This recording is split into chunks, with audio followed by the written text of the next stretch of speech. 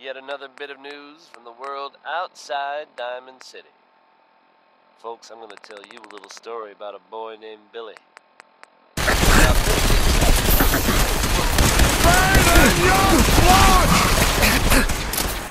He found himself separated from his family, but then he managed to run into the Vault Dweller.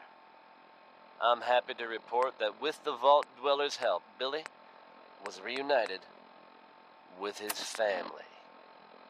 Stories with happy endings don't come along all too often, so I hope this one.